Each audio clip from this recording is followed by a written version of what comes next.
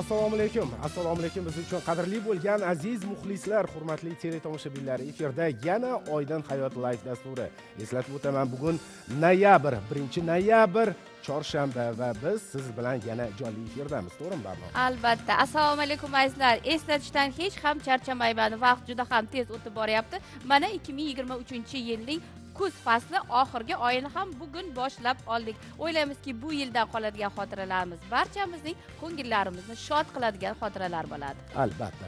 Demak aziz teletomoshabinlar bizni nafaqat teleekran orqali balki ijtimoiy sahifalarda ham bemalol ko'rish mumkinligini eslatib o'tmoqchiman.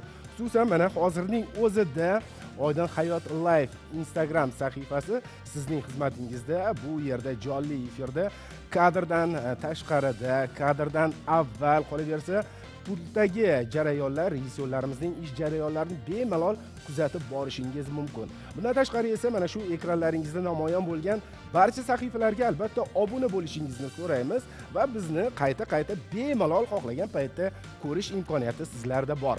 Dastur avvalida esa doimiy hamkorimiz doimiy ravishda barno ilhomovani imijlari ustida ishlab kelayotgan ozodaxon qodirova hamda ozoda butik saloniga alohida rahmatimizni aytishimiz kerak to'g'rimi barno? Albatta hamkorlarimizning umrlari ziyoda bo'lsin deymiz. Endi esa bugungi dasturlarimiz anonsi bilan tanishtirib o'tamiz. Ilk sahifamiz mehmonlari sportning power para para powerlifting turi bo'yicha o'zbekiston sharafini munosib himoya qilib kelayotgan sportchilar muslima nuriddinova va oqiljon musulmonqulov bo'ladilar. Muslima yaqinda xitoyda bo'lib o'tgan to'rtinchi para osiyo o'yinlarida kumush medalni qo'lga kiritgan bo'lsalar oxinjon esa yoshlar o'rtasida o'tkazilgan jahon chempionatida oltin medal sohibi bo'ldi. Albatta. Va har qanday sportchining g'alabalari ortida murabbiyning ulkan mehnati bor. Toshkent shahar oliy sport mahorati maktabi murabbiyi ruslan bazarbayev ham bugun sportchilarimiz bilan birga studiyamizdalar. Assalomu alaykum. Xush kelibsizlar assalomu alaykum. Ular bugun e, bizga aynan mana shu musobaqalar taassurotlari va oldindagi rejalar haqida gapirib beradilar. To'g'rimi albatta albatta. Oshxonamizda esa ko'rsatuvimizning doimiy hamkorlaridan biri ijtimoiy tarmoqlarda sevarim kuking nomi bilan yuritiladigan e, e, sahifa food blogeri qandolatchi sevaraxon ro'ziboyeva bo'ladilar. Sevaraxon assalomu alaykum. Assalomu alaykum. hormang salomat bo'ling. rahmat sog' bo'ling. Xo'sh bugun bizga nima tayyorlab berasiz? Bugun man qovoqdan turli xil mazali foydali yeguliklar tayyorlab beraman. Aha bo'lmasam siz bemalol ijodni davom ettiring. Taom tayyor bo'lgandan keyin siz bilan suhbatimizni biz ham davom ettiramiz. Rahmat. Albatta. Demak e, yana bir sahifamizda muxlislarimizning haqli talablariga ko'ra barno ilhomovaning amaliyotchi psixolog sifatida tavsiyalarini birgalikda tinglaymiz. Xo'sh barno bugun nimalar haqida gaplashamiz? Shuhrat bilasizmi talab shunday bo'ldiki psixologlar a, o'sirlar o'rtasidagi munosabatlar haqida ham gapirib berishsin degan taklif bo'ldi. Biz bugun baholi qudrat ana shu mavzuga bugungi zamon psixologlari nuqtai nazaridan qarashga harakat qilib ko'ramiz. Tinglaymiz bo'lmasam juda ham yaxshi va dasturimizda diltortar qo'shiq ham o'rin olgan bunda bizga nihol mukofoti sohibi mirijod mirkomilov studiyamizdalar ulardan bir qo'shiq tinglaymiz. Mirijod assalomu alaykum. Assalomu alaykum. Assalomu alaykum. Xush kelibsiz. rahmat. Demak aziz teletomoshabinlar mana ko'rib turganingizdek bizda bugun mana shunday sahifalar o'rin olgan. Hozir esa paraolimpiyachi e, olimpiyachilarimizning xalqaro maydondagi g'alabalarini birgalikda video tasmalarda tomosha qilamiz. Marhamat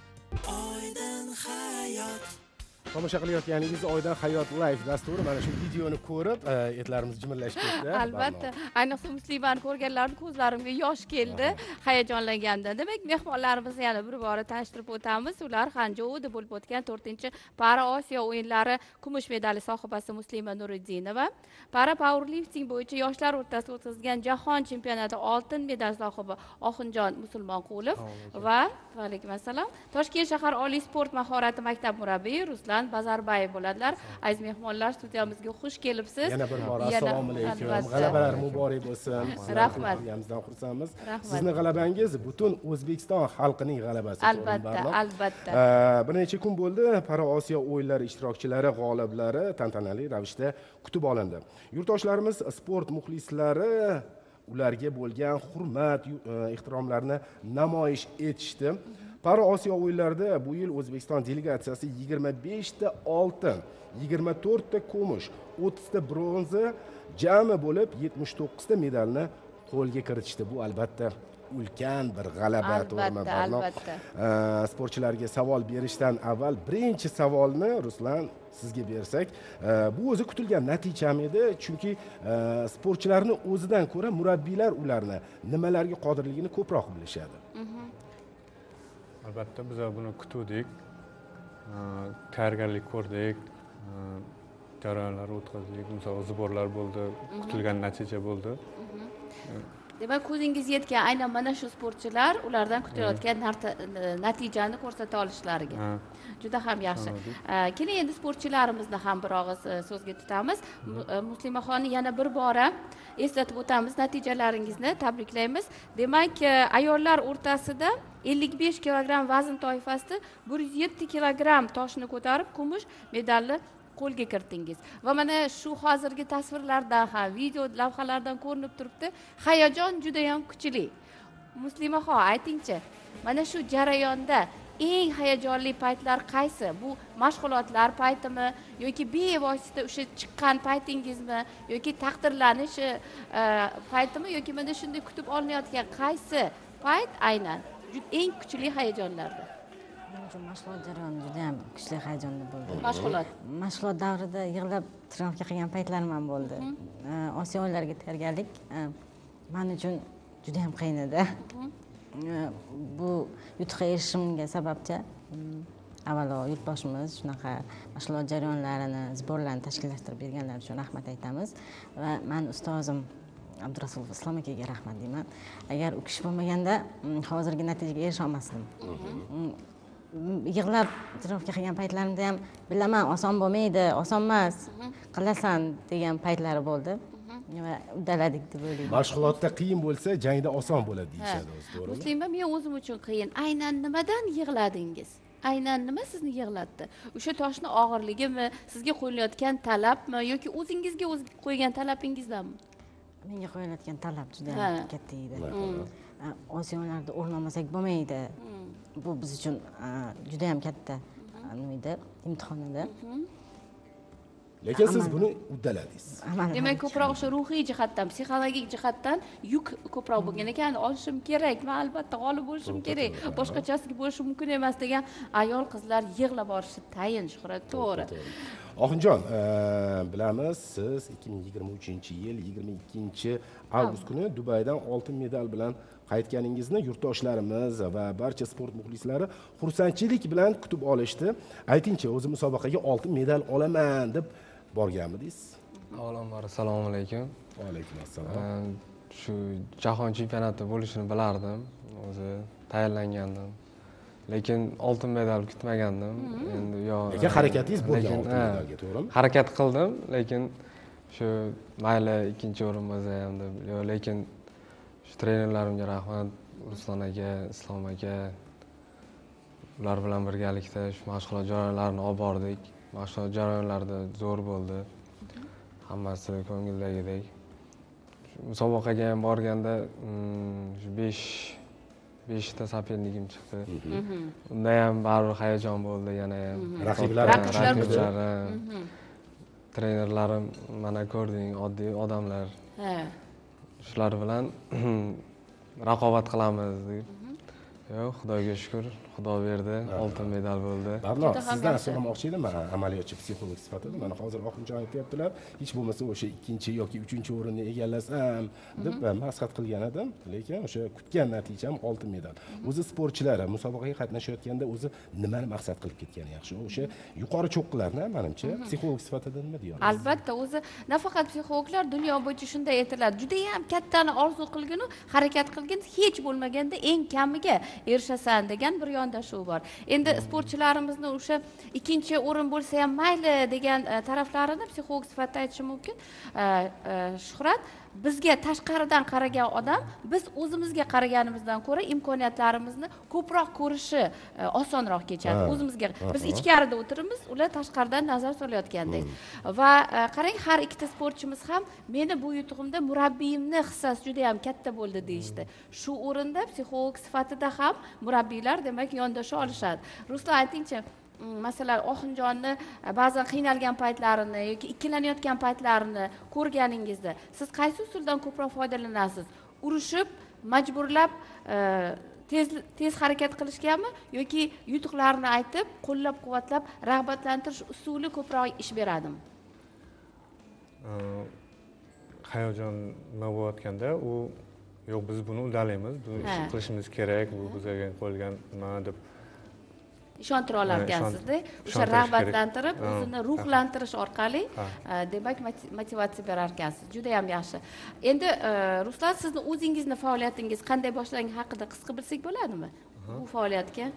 Man o'zi shtangist bo'lganman og'ir atletika shtanga ko'targanman. E, bu parapowerlifting sportiga ustozlarim orqali kirib kelganman.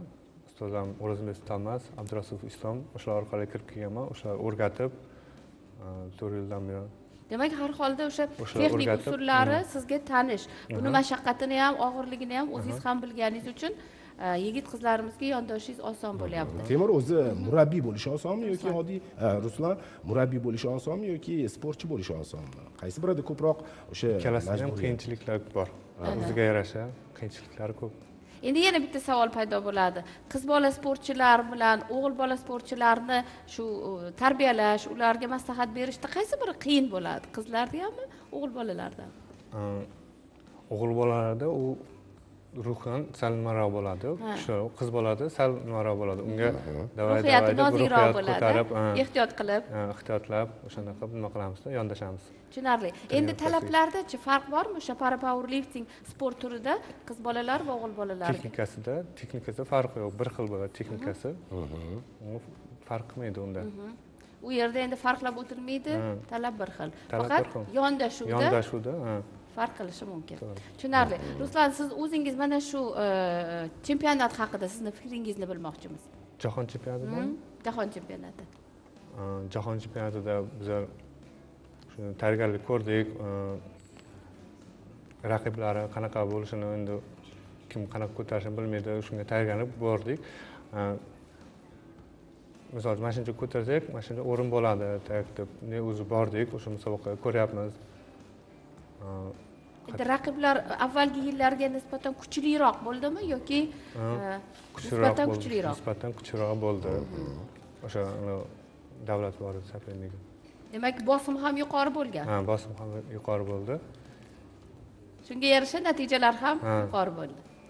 Juda ham Ha, yaxshi. muslima endi sizdan so'ramoqchi edim. Siz mana shu para osiyo o'yinlarida ishtirok etdingiz va siz qatori u yerda sizni do'stlaringiz jamoadoshlaringiz ham ishtirok etishdi. Ularni taassurotlari qanaqa bo'ldi? Ularni yutuqlari qanday bo'ldi? Xabarimiz bor ular ham medal bilan qaytishgan to'g'rimi? Biz powerlifting sport turidan besh kishi ketuvdik sportchilar. E, murabbiylarimiz bilan yetti kishi umum hisobda. Mm, shuni shularni ichida to'rt kishimiz e, uch kishi kumush medal e, bir kishi bronza medalni sazovor bo'lishdilar E, biz juda yam qiynaldik. Ayniqsa powerliftingda juda yam qiyin bo'ladi bellashuvlar. Siz e, raqiblaringizni e, necha ko'tarishini aniq bilasiz lekin o'sha e, borayotgan toshingizni hisoblata olasizmi? Hakamlarda da eng katta anaqa talab. Raqiblar ham kuchlimidi ha raqiblar juda yam kuchli eng kuchli raqiblar bizda xitoy hisoblanadi. U o'z yurtida o'zlari birinchi o'rinni olib kelishdi. Har holda muslima o'sha farqi bor musobaqalar mehmondamisiz yoki mezbon bo'lganingizni farqi bo'ladi. albatta. ruhan demak siz o'sha qo'llab quvvatlashni sezasiz. Demak buni o'z o'zgacha farqi bo'ladi. Tushunarli. Sizlarni tomosha qilib turgan ota onalar oxinjon ota onangiz yaqinlaringiz e, qanaqa bir e, munosabat bildirishdi? Ular e, nimani kutishgan edi? Ularda hayajon kuchli bo'lgan bo'lsa kerak Albatta. musobaqaga tushishimdan oldin ertalab onamga telefon qildim. Shu musobaqaga tushyapman. Shunaqa shunaqa shu o'g'lim birinchi o'rinni olasan. Ishonch. Men ishonaman degandilar. Kelganimdan keyin e, albatta mm, o'zimni mahalladoshlarim bilan chiqib kutib olishdi hammasi zo'r bo'ldi xudoga shukur Shu juda ham yaxshi. endi mana shu hayajonlar mana shu taassurotlar bilan oldingizga qo'yayotgan rejalaringiz ham bo'lsa kerak. Zabt etilishi kerak bo'lgan cho'qqilar marralar mana Ular qanday? haqida ham. albatta. Xudo xohlasa e, dekabr oyida bo'lib o'tadigan jahon kubogiga tayyorgarlik ko'rib kelyapmiz. Xudo xohlasa undan ham yaxshi natijalar qilamiz deb nima qilamiz? Tushunarli. E, oxunjon e, muslima sizni maqsadingiz nima? Aynan mana shu musobaqadan sizni qaysi marrani oldingizga qo'yyapsiz xohlasa endi birinchi o'rinni egallab qaytish. Kumushni mazasini bildingiz yaxshi ekan. Mhm. endi oltinga harakat qilamiz. Juda ham yaxshi. Oxunjonchi men endi e, bu debyut ya'ni birinchi musobaqam jahon chempionati bo'ldi. Birinchi marta qatnashdim. E, endi u yerda yoshlar o'rtasida olgan bo'lsam e, kelgusi niyatlarim kattalar o'rtasida oltin medal qilish. Aha. Paralimpiya osiyo o'yinlari olimpiadada keyin kelgusi maqsadlar xudo xohlasa. Juda ham yaxshi. Endi oxunjonni oltin medallari soni endi ko'payib Ko'payadi. boradi oxunjon hozir bizni tomosha qilayotgan teletomoshabinlarimiz orasida yoshlar ham bor. Ularga nimalarni maslahat berardingiz? Chunki ular bo'lar bo'lmas narsalarni qiyinchilik deb bilishadi. Nima qilsa o'sha o'zini o'ylagan niyatiga marrasiga yetadi. Nima degan bo'lardingiz yoshlarga endi основной e, yoshlar ko'proq birov misol kim qaysidir ishni boshlamoqchi bo'lsa birinchi bo'lib negativ beradida E, endi meni o'zimda ham bo'lgan misol yo'q qo'y chiqolmaysan qilolmaysan. Atrofdagilar Ha, a? ular eshitmashi kerak qilish kerak. Bo'ldi. Muslima siz nima deysiz? Oldinga oldilariga qo'ygan maqsadlariga nima bo'lishidan qat'iy nazar e, erishishni faqat olg'a yurishi. Endi muslima shu o'rinda nima uchun orqaga e, qaytishadi? Bir marta yiqilishadi ikkinchi marta qoqilishadida uchinchisida endi yurak betlamaydi. Siz aynan shu qoqilishlar yiqilishlar bir necha marotaba bo'lgan mag'lubiyatlarni nazarda tutib aytyapsiz oldinga harakat qilish kerak deb. Barakalla. Demak izlanganga tole yor deyishadiyu bizni bugungi sportchilarimiz hayotda u yoki bu qiyinchiliklardan u yoki bu yetishmovchiliklarni bahona qilib nolayotganlar uchun juda ham yaxshi ibrat bo'ldi. Ruslan rahmat kattakon vaqt ajratib bugun studiyamizga kelganingiz uchun albatta ishlaringizga omad tilaymiz va oxunjon muslimaxon va'da va'da. Ana shu dekabr oyida bo'ladigan musobaqalarda oltin medallarni olib yana studiyamizda mehmon bo'lasiz deb Rahmat. studiyamizda xush ko'rdik. Rahmat demak aziz teletomoshabinlar bizni kuzatishda davom etasiz. Hozir qisqagina tanaffus tanaffusdan so'ng esa biz oshxonada suhbatimizni davom ettiramiz. Bizdan uzoqlashmang rahmat. Rahmat. Tomosha qilayotganimiz e, oydin hayot live dasturi aziz muxlislar biz aytib o'tganimizdek mana biz uchun qadrli bo'lgan sevimli bo'lgan oshxonadamiz. To'g'rimi barno oshxonamiz mehmoni esa Sevarim kuking a, ijtimoiy tarmoq sahifasi food blogeri sevaraxon ro'ziboyeva bo'ladilar sevaraxon xush kelibsiz xushvaqt bo'ling charchamadingizmi sevara Rahmat, yo'q, sevara siz dastur avvalida aytdingiz qovoqdan taomlar tayyorlab beraman dedingiz nima uchun aynan qovoq go'sht emas masalan hozir kuz fasli bo'lgani uchun pishiqchilik paytida qovoq eng foydali poliz ekinlar hisobiga kiradi.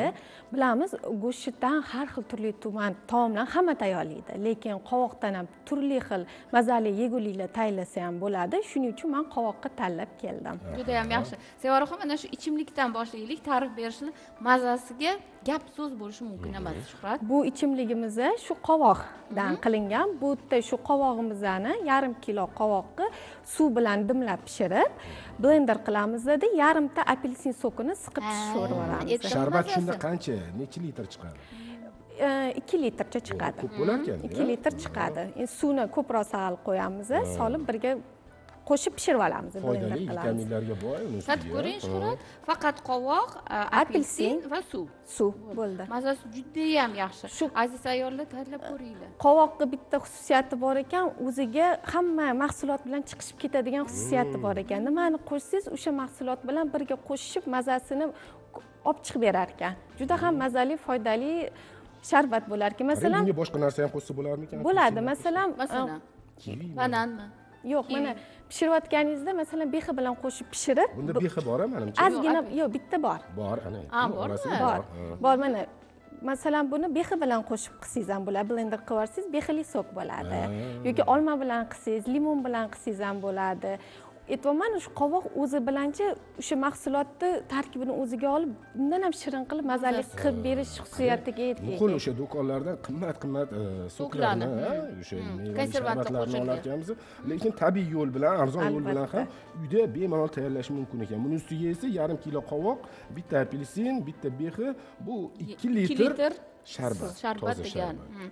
shuhratga o'sha e, nima deydi ekonomniy joyda va sevaraxon adashmasam shu qovoqni hamma ta'mlarni o'ziga olib olib yaxshi chiqishini hisobga olib salat ham qilib ko'rgansiz. Man Albatta. umrimda birinchi marta qovoqli salatni ko'rishim shuhrat. Bugun tatib ham ko'rasiz birinchi marta. Mana qovog'i shu oddiy qovoq olamiz bo'laklarga bo'lib shu idishga solib unga aralashtiramiz. U yerda limon limonni sedrasi bor ozgina yog' bor asal bor. Shuni aralashtirib duxovkaga qo'yib pishirib olamiz. O'n besh minut yigirma minut. O'sha sous bilan esa mana bu rukolani aralashtiramiz. Ustiga brinza yoki fitaksa deymiz pomidorlar bilan va Qovoq urug'lari, bilan bezatsak bo'ladi. Juda ham foydali mazali salat bo'lib chiqadi. Bu somsa qovoq ko'rinishida. bu yerda qovoq qaysi e, nimadagi nav qovoq judayam mazali osh qovoq shirin ekanda. deydimi nima deydi uzun cho'zinchoq xitoy qovoq. Qovoq deymizmi nima deymiz? Uzun. saksizgi. ha uzun qovoqdan o'sha qovoqdan judayam shirin. Va endi qovoqchali somsalar qovoq ko'rinishini ko'rinish turibdi qovoq ko'rinishidagi qovoq somsa. Bilamiz shu qovoq deganda hammamiz oldimizga faqat qovoqli Qovoq somsa manti. qovoq manti yoki shirqovoq yoki shirqovoqli do'lma keladi lekin aytyapmanku qovoqdan juda ham ko'p tayyorlanadigan narsalar juda ham ko'p. Mana mana shunaqa ko'rinishdagi qovoq somsa qovoqli salat qovoqdan sok qovoqdan sho'rva krem Sho'rva, hisoblab juda ham hammasini ko'p. tatib ko'ramiz shuhrat. Juda ham mazali foydali qovoq bilamiz. O'zida juda ham ko'p vitamin mikroelementlar o'zini tarkibiga oladi va anti- antioksidant kuchli bo'lgani uchun immunitetni oshiradi. Qovoqda a e b olti b o'n ikki vitaminlari bor bo'lgani uchun ko'rish qobiliyatini yaxshilaydi. Teri yuz va tirnoqlarni o'sishiga yaxshi ta'sir qiladi. Keyin ozishi istovchilar ham bemalol qovoqni iste'mol qilsa bo'ladi chunki buni kaloriyasi juda past.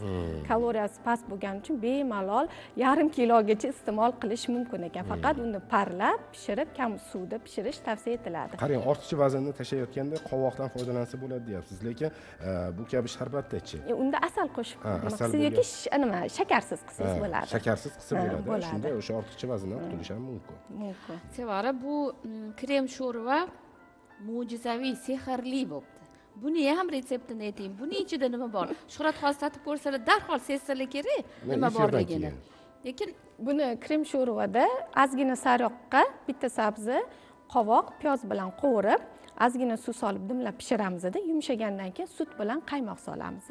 Ozgina sir ham qo'shib eriydigan sir qo'shib blender qilib yuboramiz. Endi bitta qaynatib уже suzib iste'mol issiq ajoyib. Paytida iste'mol qilish kerak ajoyib ajoyib. Barakalla demak qovoqdan ham yuqorida siz aytganingizdek shuncha narsalar Bu yarmi. bu yarmisini yarmisi yarmi. deng. Ha.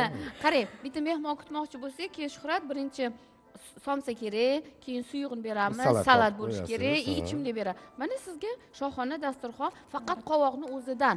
Faqat qovog'i o'zidan. Va oila a'zolariga ham bu judayam albatta juda ham foydali ham mazali. Aytyapman qovoqligini buni hech kim sezmaydi qovoq sho'rvada hech kim nima ham qilmaydi. Mana bu so'kka esa lekin hammaga uydagilarga yoqdi. Ha, o'zi bolalar ya- uncha yoqtirmaydiyu qovoqni Erkaklar ham shunaqa qovoqni yo'q endi erkak kishilar hozir ko'p e, qovoq iste'mol qiladigan lekin yosh bolalar e, qovoqni uncha ham xush ko'rmaydi. Shuning uchun e, sharbat manimcha ularni ko'proq o'sha qondirsa kerak. Shu o'zi qovoqni ko'proq solib yuborsa undan ham yaxshi bo'lsa kerak. aytyapman shu o'zingizga yoqadigan maza bilan qo'shib qilib yuborsangiz o'sha mazani o'ziga tortib olar ekanda qovoq maza yo'qolib ketar ekan juda ham mazali juda ham foydali narsa bo'lib chiqar ekan qovoq shunaqa xususiyatga ega o'zim hayron qoldim. Mana endi bildim nima uchun?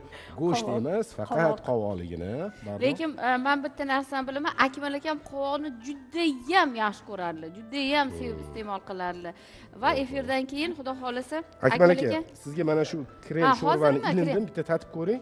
Undan ham yaxshi undan ham yaxshi bo'ldi va albatta salatdan ham tatib ko'rishlari kerakda qovoq yana shu organizmingizdagi zaharli xolesterinlarni chiqarib tashlab ortiqcha yog'larni eritish xususiyatiga ega ekan.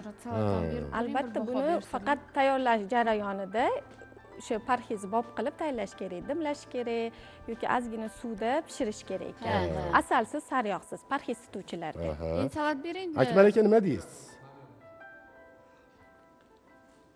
mazasi qanaqa mazasi gap yo'q. Man hozir mana nevaralarga narsa olamiz-ku ha. Yogurtku bu? O'zi- bor kashil. Hech kim bilmaydi. Yogurtni mazasi ana. Qaymoq. Ha tabiiy yo'gurt. Qovonni yaxshi ko'rasiz akmal aka siz ham? Man yaxshi ko'raman qovonni ayniqsa tandirda somsa qilishadiku o'shani yaxshi ko'raman. Akmal aka siz endi qovonli salat yemagansiz. salat Voy, endi salat yeb ko'ring. Bering man kosani man mana bu danagini so'ramoqchi edim sevara sizdan. Bitta qovonni sal- salati. Bering kosani bering akmal aka bugun sizni xizmatingizdamiz qarang. Kuz qanaqa mazasiga endi baho bering. Juda ajoyib. Salatingiz ham zo'r bo'libdi salatga. Oshpisi juda yaxshi bo'libdi salatlari ham. Lekin man mana bu a, qovonni danagini ham qo'yib qo'yibsizku shuni nima qildingiz? Buni ham haligi duxovkada pishirdingizmi yoki alohida qo'ydingizmi? Tayyor alohida- yo'q. do'kondagi tayyormi yo'q do'konda tayyorni ozgina duxovkada qizdirib olaman. Namligi ketish uchun. Ha danagini bu tarsildoq bo'lib juda turibdi chiroyli bo'libdi. Lekin yogurtni o'zi o'tib buni hammani bolalari yeydi. Va yeyishadi. Akmal aka bugundan boshlab siz ham qovonni faqat somsa ko'rinishda emas salat ko'rinishda bersak ham ichimlik ko'rinishda bersak ham sho'rva ko'rinishda yogurt deb yeyverasiz bo'ldi endi ayollarga xudo quvvat bersin. Qilib berishsa sekin sekin yeyaverasiz tushunarli tushunarli. Rahmat, Akmal rahmat aka. akmal aka salomat bo'ling. Akmal aka sizdan fikringizni so'rashimizni sababi har doim sizda hayotiy tajriba gapiradida shuning uchun bizga sizni fikrlaringiz juda yam qiziq. Rahmat. Hmm. sevara mm, to'g'risini aytaman mana e, siz kabi o'zini ishini sevadigan ayollarimiz bugun shunchaki tayyorlab yoki shunchalik sot- shunchaki sotuv uchun emas o'zlari ham mana shu mahsulotlarni foydasi haqida bularni ta'siri haqida o'rganib borayotganlari bu maqtovga e, e, tahsinga sazovor. Chunki biz ko'rsatuvimizni asl maqsadi e, aholini sog'lom turmush tarzini yuritishga targ'ib qilish. Shunga o'rgatishga o'z hissamizni qo'shishimiz. Siz kabi mutaxassislar esa bizga bunda eng katta yordamchilarsiz. Rahmat sevara. Rahmat sevara. Sevara siz aytgan mana shu taomlarni retseptini aziz muxlislar biz albatta ijtimoiy tarmoqlarimizga joylab boramiz. Dastur avvalida aytib o'tganimdek instagram sahifasida bizda jonli efir ketyapti. Mana ko'ryapsizmi barno haligacha o'sha jonli efir rejissyorlarimizning ish jarayonlarini bemalol kuzatishingiz mumkin. Bu yerga telefoningizni yoqib oling bu yerga televizorni yoqib oling va bizni qolaversa pultdagi jarayonlarni bemalol ko'ring. Umidjon charchamayapsizlarmi? Farruh mana sabohat hamma hammaliga albatta albatta. Hayot live dasturi ijodkorlari bizning xalqimizni hayotlariga oydinlik olib kirish bilan bandmiz har kuni. Va sevaraxon sizdan teletomoshabinlarimiz uchun o'zingizni muxlislaringiz uchun yaqinlarimiz uchun kun tilaklari aytish vaqti keldi. Marhamat. Hammaga oydin hayot muxlislariga ijodkorlariga barcha barchaga tinchlik xotirjamlik tilayman hayotligisi oydin oydin hayot bo'lib yurishini tilab qolaman. Rahmat salomat bo'ling. Sizga ham mana shunday chiroyli xayrli barakali ishlaringizda omadlar tilaymiz oydin hayot live dasturi ijodkorlari nomidan hamkorlik uchun minnatdorlik rahmat Rahmat. sog' bo'linglar. Salomat bo'ling. Azizlar bizda esa e'lon bor. Ertaga 2 noyabr soat 16:00 da o'zbekiston telekanali orqali salomatlik formulasi ko'rsatuvi to'g'ridan to'g'ri efirga chiqadi. Unda tibbiyot fanlari nomzodi shifokor nevropatolog shukurulla jalilov bilan alsgeymer kasalligi ya'ni keksalarda xotira yo'qolishi va ruhiy buzilishlar haqida kechuvchi kasalliklar haqida suhbatlashamiz. Studiyada mavzu yuzasidan savollaringizni qabul qilish uchun telefon ishlaydi. Aloqa vositalari esa mana ekranlaringizda ko'rib turibsiz.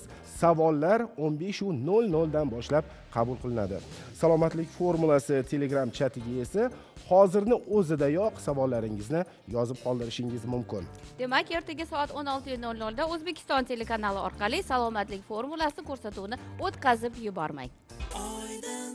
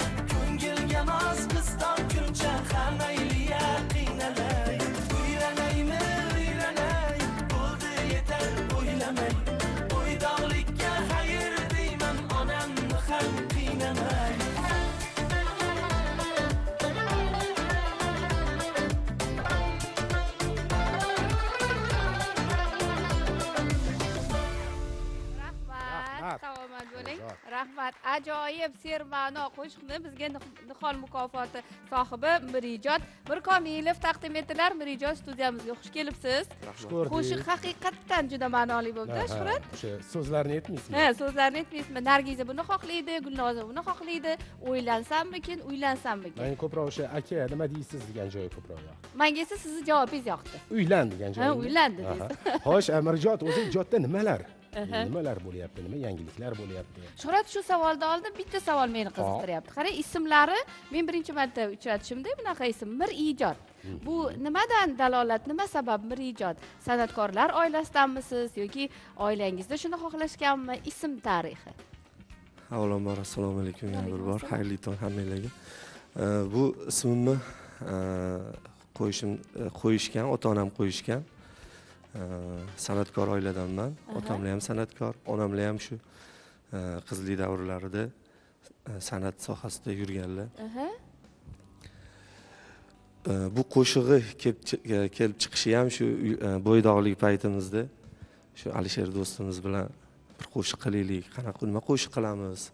deb juda o'ylanib boshqa qilib izlanib yurgan paytimizda o'zi qo'shig'imiz uylanaman shekilli edi. Chunki shunaqa paytga qarab ketyapti shu davrga yetib keluvdikda endi uylanish uy- uydagilar davay qachon uylanasan nimaga uylanmayapsan o'sha gap so'zlar.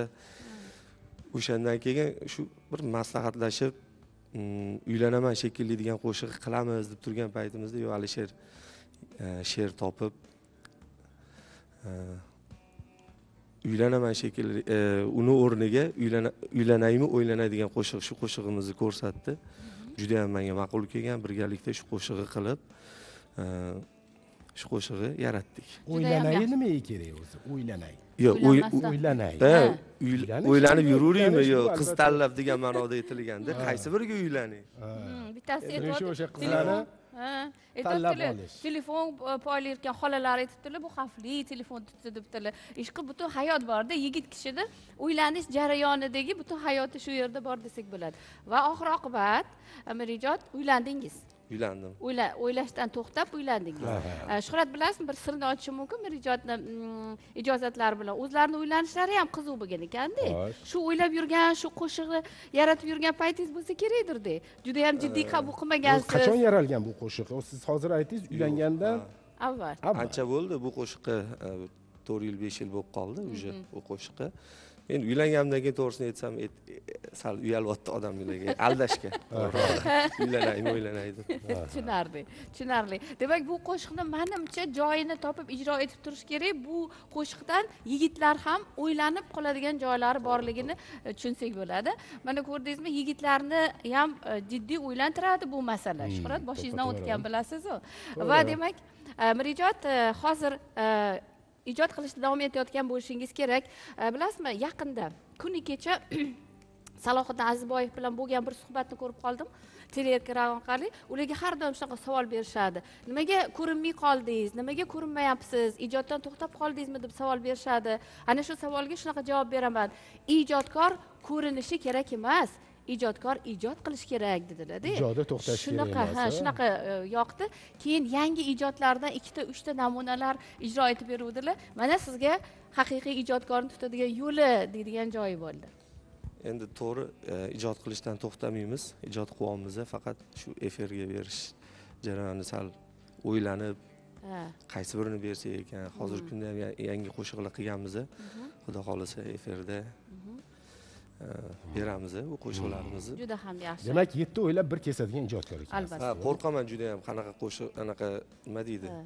Bir qo'shiq qilishga qo'rqaman. Bir noto'g'ri aytib qo'ymay yo so'zlar noto'g'ri ketib qolmasin deb juda ko'p o'ylayman. Bu yaxshi sifat. mas'uliyatni his qilasizda albatta. Uh, o'zi siz qaysi kompozitor bastakorlar bilan qaysi shoirlar bilan ko'proq ishlaysiz? Qaysi biri sizga qulayroq? Hozir kunda mani bir do'stim ham ukam alisher ne'matov shu ukam bilan birga ishlayman. E, bu boyagi e, uylanaymi qo'shig'imizni endi shoirini ham bu o'zi mani dardim emas shu manga o'xshagan uylanolmay yurganlarni dardida. Bu narsani ham aytib ketishim kerak. Elbek shoyim degan do'stimiz yozgan bu she'ri e, u bolani dardi u manga ham to'g'ri kelgan. И man hamma bo'ydoqlarga to'g'ri keladi do'stimizni dardi edi buni ham aytib ketishim kerak. Chunki she'r juda yam bizani e, qo'shig'imizda e, birinchi o'rinda so'zimiz so'z bo'lsa u qo'shiq qolgani anaqasi chiqib ketaveradi chiroyli bo'lib ketaveradi. U do'stimizga ham rahmat deb aytib qo'yamiz shu she- she'r yozib berganligi uchun shu she'r sababchisi bo'lganligi uchun salomat bo'ling rahmat mirijot demak haqiqatdan san'atni qadrlaydigan san'atni tushunadigan ijodkor oilada dunyoga kelgan ekansizki ijodga mana shunday munosabatingiz bor ekan. Bu uchun rahmat deymiz sizga. Ishlaringizga omad tilaymiz. Ilohim shu san'atkorlar orasida yosh san'atkorlar orasida men kimga men nimani beryapman men nima deyapmanu kim bundan nimani olishi mumkin degan bir mas'uliyat bilan yashashlarini tilab qolamiz. Ma'noli ma'noli qo'shiqlarni ko'p yaratishinglarni albatta va mirijot biz sizga e, taklif e, berishimiz mumkin. Har qanday chiroyli ma'noli qo'shig'ingizni premyerasini oydin hayot live studiyasida o'tkazishga imkoniyat bor. Salomat bo'ling. Hamkorligimiz davom etadi. Mana bizni tomosha qilayotgan teletomoshabinlarimizga kun tilaklari bo'lsa birinchi kameraga yana bemalol murojaat qiling. Ustozlaringiz ota onangiz ko'rib turishibdi hozir. Kun tilaklari? Mm, nima desak bo'lar ekan?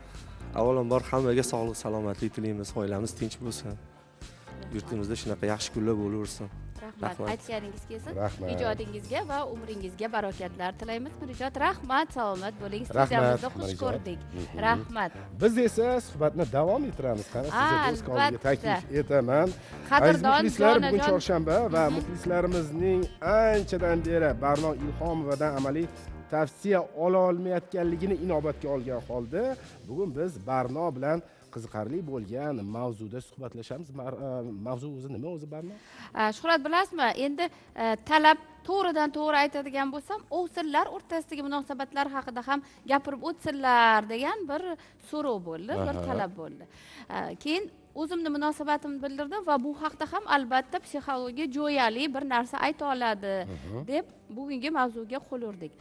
Aslida biz har qanday munosabatlar haqida gapirar ekanmiz bu o'sinlar o'rtasidagi munosabatlar do'stlar o'rtasidagi rahbar va xodim o'rtasidagi yoki qo'shnilar o'rtasidagi yoki oddiy yo'lovchilarning o'zaro munosabatlari haqida gapirganimizda shuhrat hech qachon esimizdan chiqarmaslik kerak. Har qanday munosabatlarning zamirida odam turadi.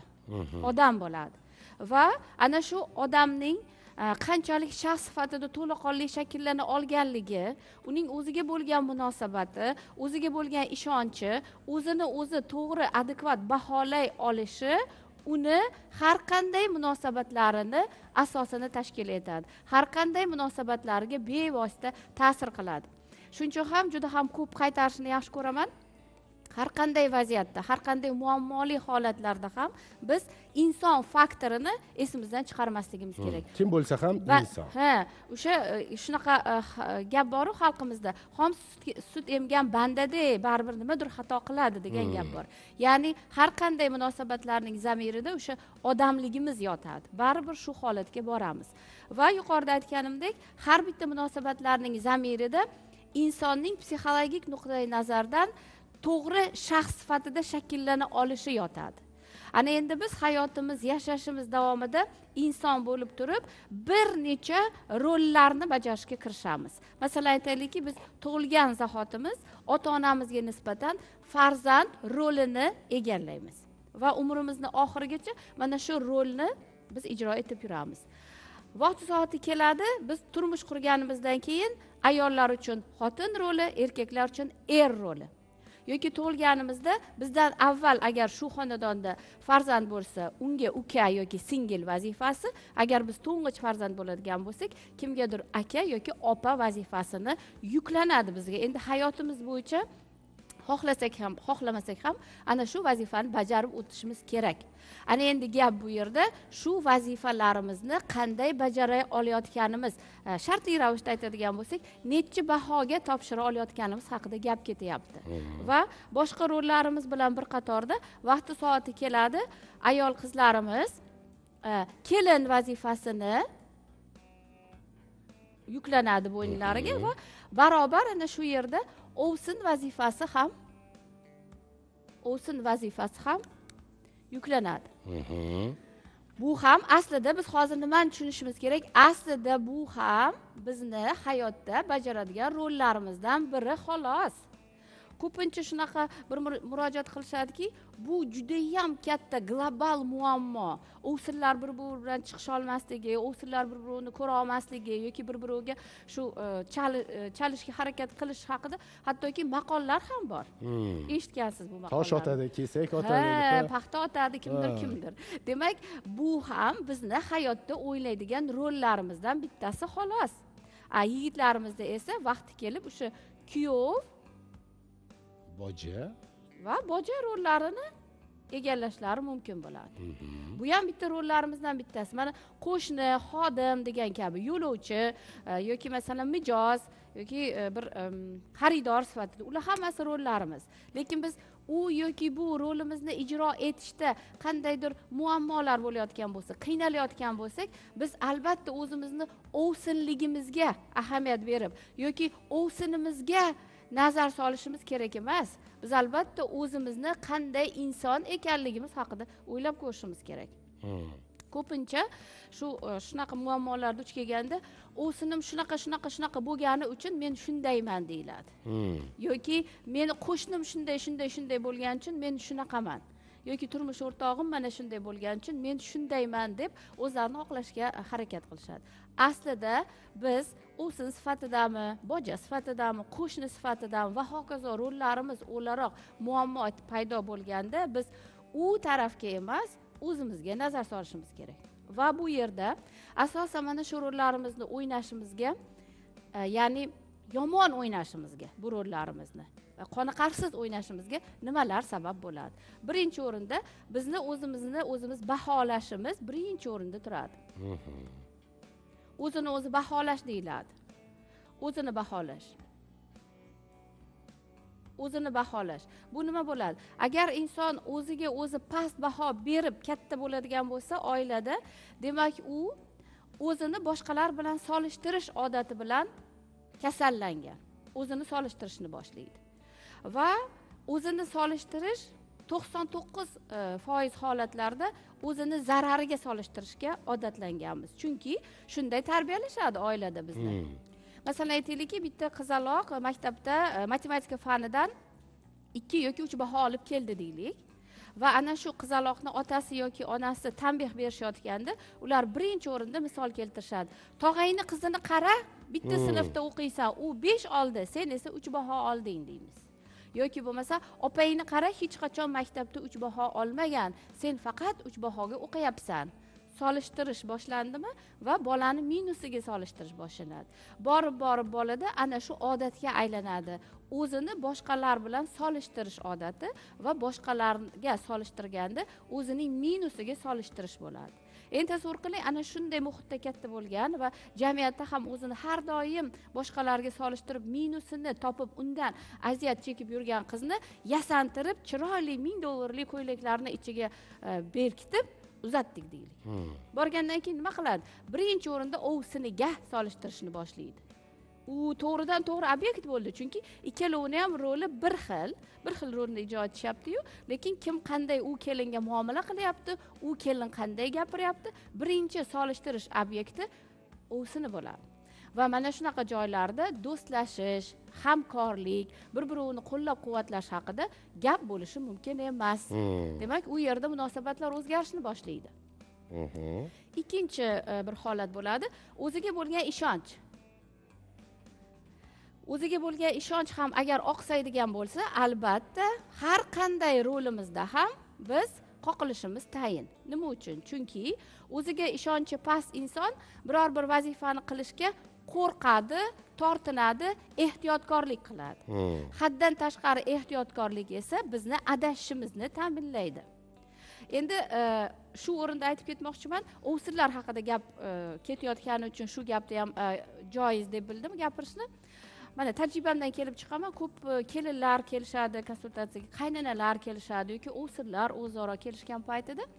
Shunaqa e, bir ko'p gapni eshitamanda qiz bolani tarbiya qilayotgan onalar buvilar ko'pincha holatlarda qiz bolani uy ishlariga o'rgatish barobarida shunaqa bir e, qo'rquv bilan katta qilishadiki ertaga sani qaynonang haydab chiqarib yuboradi deyishadi. Hmm. qo'lingdan hech narsa kelmaydi. Ertaga san qaynanangni oldida shunaqa ish qilsang mani sharmanda qilasan degan ham bo'ladiyu ya'ni qiz bolaga uy ishlarini o'rgatish barobarida o'sha qo'rquvni ham singdirib boriladiki qaynona degani bu demak bir dahshatli bir nima ekan man undan qo'rqishim kerak ekan va qizni miyasida har doim qaynanam doim mani ishimdan xato topar ekanlar degan qo'rquvi bo'ladi. Hmm. tushunyapsizmi va qarang o'zini baholash past o'ziga bo'lgan ishonchi past bo'lgan kelin ovsini bilan bitta joyda turishganda ovsiniga emas menga ana shu tanbehni beradigan bo'lsa demak yana o'sha solishtirish.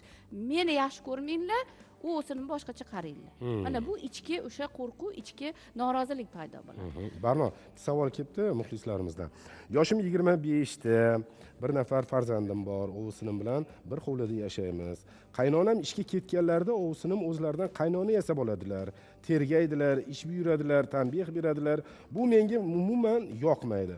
Ular bilan munosabatlarimizni buzish niyatim yo'q. Qanday maslahat berasiz?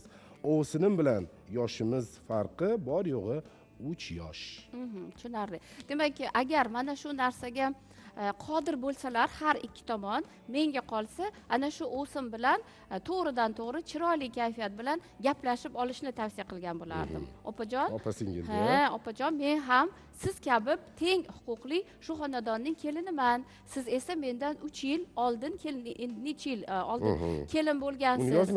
Va mhm. Mhm. va sizni e, mana manda bor e, o'sha paytda o'sha ovsinda bor narsa nima? Ana shu kelin birinchi kelin. Bu xonadonga bu kelindan ko'ra sal vohliroq kirib kelib vohliroq ko'nikib vohliroq o'rganib olganlari bor xolos. Hmm. boshqa hech narsada ularni yuqori yoki e, ko'p joylari yo'q. Tajriba shu xonadonda nisbatan ko'proq vaqt o'tkazganlari. ko'proq o'rganganlar u yerda e, qonun qoidalari bor. Shuni ko'proq o'rganganlari bor xolos. Boshqa hech qanaqa bu kelinni bundan kattaroq e, ko'proq narsasi yo'q. Hmm. va shu holatda kichkina kelin aytishi mumkin. Sizni tajribangiz shu xonadonda tajribangiz ko'pligini hurmat qilaman. Menga yordamingiz kerak. Siz shu narsani menga o'rgatsangiz ikkalamiz opa singildek birgalikda chiroyli bir ro'zg'or tutamiz chiroyli muomala qilamizki bizdan hamma xursand bo'ladi degan Hmm. narsa. Endi bu o'rinda men o'sha e, katta ovsinni ham e, xulq atvoriga harakatlariga ahamiyat bergan bo'lardim. Aynan mana shunday o'zini baholashi past o'ziga ishonchi past bo'lgan odamlar imkon tug'ilishi bilan hokimlikni egallashga harakat qilishadi. o'zidan rahbar yasab rahbar yasaydi chunki kirib kelayotgan kelinni ham teng huquqligini biladi. Hmm. ikkalovi bir xil lekin undan nimasi bilandir teparoqqa chiqishga harakat qilishadi. Hmm. demak har holda gap borib oilalarimizda qiz bolalarga to'g'ri tarbiya berish e, haqida borib taqalyapti va bu o'rinda qaynonani ham e, o'rinlari juda yam katta. Shunaqa chiroyli ibratli oilalarni ko'raman yangi kelin kirib kelganlaridan keyin shu kelinlarni o'tkazib qo'yib yuqorida aytgan fikrni aytishadi. Hmm. bular sizlardan kechroq kirib kelganlari uchun bularni hamma narsa bilan e, yuklash shart emas. Sizni tajribangiz katta opa sifatida siz o'rgatasiz. Hisobotni esa men olaman. Bu Hmm. yerda bu bu uyda men e, rahbarman degan narsani avvaldan kelinlarni o'rtasiga shunaqa tashlaydigan e, ayollar bor oqila Hmm. qaynonalarimiz ko'p. Tushunarli ho'p demak yana davom etadigan bo'lsak o'zini baholash haqida gaplashdik o'ziga bo'lgan ishonchda gaplashdik va keyingisi demak har bittamiz kim bo'lishimizdan qat'iy nazar boshqa insonlarni hurmat bilan muomala qila olishimiz uchun albatta o'zimizni hurmat qilishni bilishimiz kerak. O'zimizni hurmat qilishni bilishimiz kerak. Bu nima degani? O'zini hurmat qilgan inson qarshisidagi kim bo'lishidan qat'iy nazar bu ham yaratganning bitta chiroyli bandasi ekanligini va bu ham to'laqonli hayotga haqqi bor ekanligini bilgan holatda haqorat qilmaydi so'kinmaydi uni yerga urmaydi uni mensimasdan nazar qaramaydi. Aksincha o'zini qanday qadrlasa hurmat qilsa qarshisidagisi ham ana shunday hurmat qilishga qodir insonga aylanadi. Xulosa qiladigan bo'lsak har qanday rolingizda muammo paydo bo'layotgan bo'lsa siz albatta o'zingizga e'tiborni qarating. Barno sizga alohida rahmat. Muxlislarimizni takliflarini inobatga olib mana shu mavzuni ko'tarib chiqqaningiz uchun o'zi o'yinlar to'g'risida gapiradigan bo'lsak kun yetmaydi. Lekin biz qisqagina lo'ndagina qilib mana shuni imkon qadar muxlislarimizga talablariga e, munosib ravishda yetkazishga harakat qildik. Albatta. Demak aziz teletomoshabinlar mana ko'rib turibsiz bizga ajratilgan vaqt ham o'z nihoyasiga yetib bormoqda. Dasturimiz yakunida yana bir bor hamkorimiz ozoda butik saloniga hamda ozodaxon qodirovaga alohida rahmat deyishimiz kerak. Albatta azizlar biz gapirganlarimiz faqat eshitganlaringizda telefonlaringizda yoki daftarlaringizda qolib ketmasdan albatta ularni o'z hayotingizga tatbiq eting. Shundagina hayotingiz yanada oydin bo'ladi. Bu siz sevgan oydin hayot live dasturi. Yana sog'lik omonlikda ko'rishguncha omon bo'ling